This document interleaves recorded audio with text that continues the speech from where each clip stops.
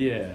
Okay, uh, today I'm going to talk about the dark side of the big data. hmm And we overestimate the importance of what we know uh, rather, rather than focus on what this data makes clear we don't actually know we don't know. we are using big data the, the wrong. But for example, in supermarkets, big data shows supermarkets that at times of higher humidity, that sales of bagged salads go up. Hmm. And that's a pretty useful way for stores to predict demand, Good. but it doesn't show the whole picture, you know. And we need to establish the casual ink and work with that.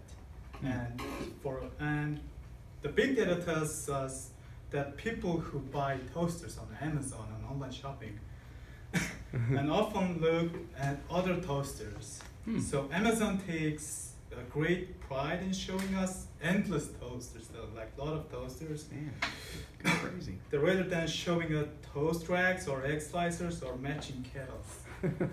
and it's harmless until data falls into the wrong hands. Mm.